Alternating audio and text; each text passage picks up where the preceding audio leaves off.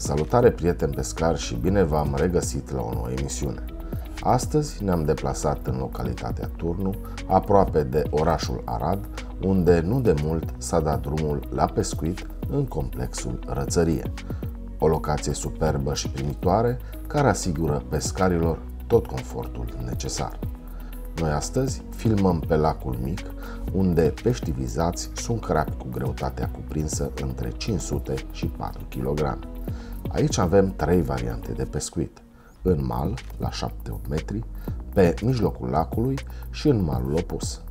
Eu am ales pentru primele lansări mijlocul lacului, însă s-a adeverit că nu a fost o variantă câștigătoare.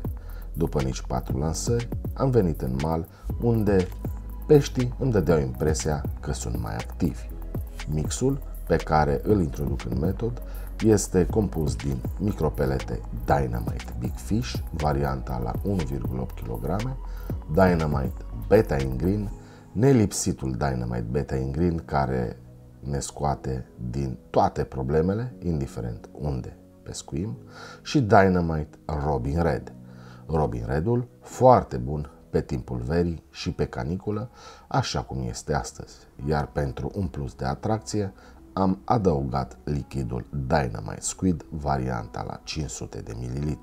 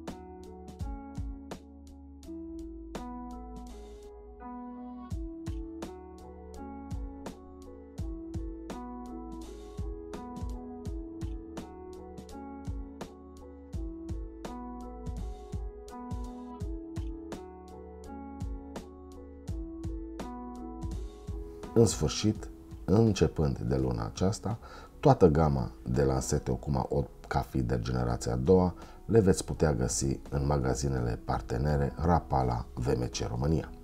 Iar pentru partida de astăzi, eu am ales varianta de 3,30 m cu puterea de lansare 45 de grame.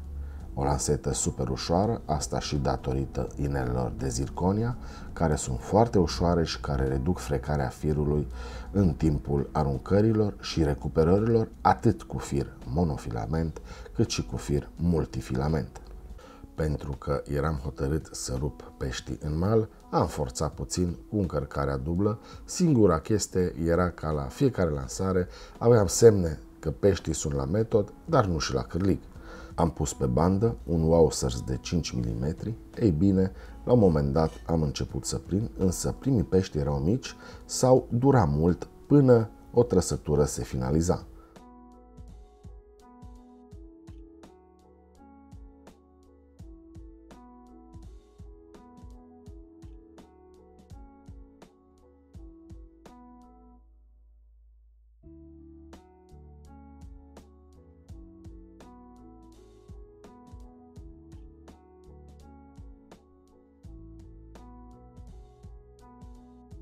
Total atipic, am hotărât să schimb pe Wowsers Mini de 3 mm pe care să-l ascund bine în metod. Să strâng foarte tare pentru ca peștii mici să nu ciugulească repede. Dragii mei, din acel moment peștii au devenit foarte activi, trăsături violente și crap frumoși adus la mal. Vedeți de multe ori, lucrurile pe care nu le credeam roditoare au succes din plin. Dar una peste alta, cel mai important lucru este faptul că aveam activitate. O baltă populată bine, poate prea bine, deoarece urmează o perioadă infernală pentru lacuri și aici fac referire la caniculă. Canicula ce va urma va ridica termometrele peste 36-37 de grade, ceea ce face ca lipsa de oxigen din lacuri să fie o adevărată problemă. Și bineînțeles și pentru pescari vin vremuri foarte grele. Trebuie căutat locuri cu umbră sau, dacă ar fi posibil, și locuri unde, de ce nu, să intrăm în apă să ne mai răcorim puțin. Aici, la arățărie, știți din emisiunile mele trecute, există și o baltă mare. O baltă cu pești extrem, extrem de răi și a căror dimensiune rar este sub 3-4 kg. Și aici găsim 15 pontoane care sunt gata să primească pescarii atât de fider cât și cei cu lansete de crapă. Dar să revenim la partida de astăzi, una activă, cu drilluri frumoase, mai ales că pescuiesc cu lanseta de 3,30 m, de care am profitat la maxim.